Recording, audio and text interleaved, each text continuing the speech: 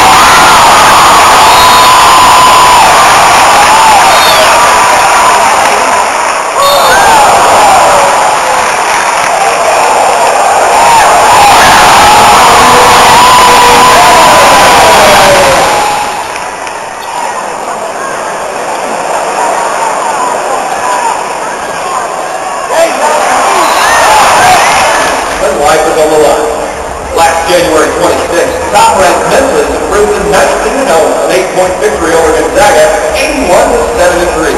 Despite the close nature of the game, the Zags led only one minute two seconds all night.